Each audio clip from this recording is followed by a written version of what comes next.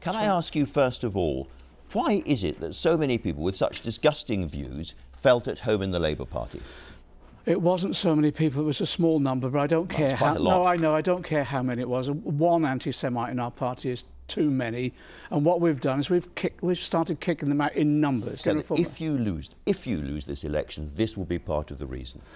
I, I worry that that's, this has had its effect. And look, we've, we've done everything I think we can possibly do. Hmm. We've, a, we've apologised to the Jewish community. And I repeat that. Nothing more you can do. I, well, wait a minute. There, we've always got to learn lessons. Of course, we have. All political parties, because it isn't just the Labour Party. I want us to be a shining model. I, I apologise to the Jewish community for the suffering we've inflicted on them. I say to them, we're doing everything possible. We're going to learn more lessons, and we want to be the shining example of anti-racism that the Labour Party should be. And I'll.